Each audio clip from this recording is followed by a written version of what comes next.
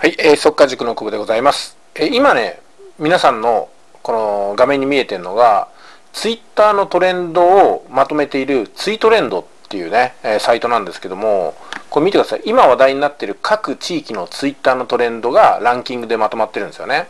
要するにね、何がハッシュタグで一番見られているかってことがこれでわかるんですよ。例えばこういうのをハッシュタグに入れて YouTube 作るとかブログ作るとアクセスが取りやすいってことになってます。まあですんでね、本末転倒かもしれませんけども、自分の言いたいことを言うんではなくて、多くの方が、あの、興味があることを見てもらおうかなとかね、自分にアクセスしてもらおうかなと思ったら、こういうところを見ていくといいと思います。例えばね、えっ、ー、と、1位がハッシュタグ72って書いてるじゃないですか。これ全く意味がわかんないですね。なんだこれ。でも42,403ツイートされてるんですよ。で、みんな何時間で1枚の絵完成させてねとかありますよね。あと、アンタッチャブルっていう、なんかあれですか、タレントさんみたいなのも検索されてますよね。これ、アンタッチャブルさんとかね。あと、1ヶ月とか言って使い古された言葉なんですけども、ここ出てますよね。サントリー1万人の大工ってのもそろそろ12月だから検索される時期ではあると思いますけども、他にもね、ケンタロウって誰だろう？わかんないですけどね。72って出てきますよね。72って。楽しみ72。んでしょうね、72っていうのは。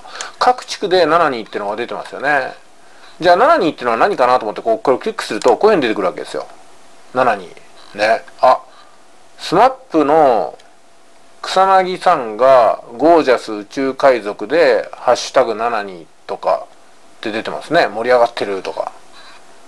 あ、運動会の様子も72であ、これテレビですね。テレビの左上のところに72っていうのが世界1位のトレンドで出てます。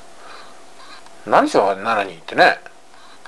72って分かんないじゃないですか。分かってる人いると思いますけども分かんないなっていう時にその72っていうのは何なのかを説明する動画をアップすればアクセスが集まる動画ができるってことなんですよ。えー、以上でございます。まあ私はアクセス取るために動画を作るってことはね、あんまりやりたくないんで、やりませんけども、とにかく、とにかくアクセスが欲しいとかね、とにかくチャンネル登録が欲しいって方は、こういうふうな、ね、やり方でアクセス取ればいいんじゃないかなと思います。以上が答えですけども、お役に立ったでしょうかそれでは失礼します。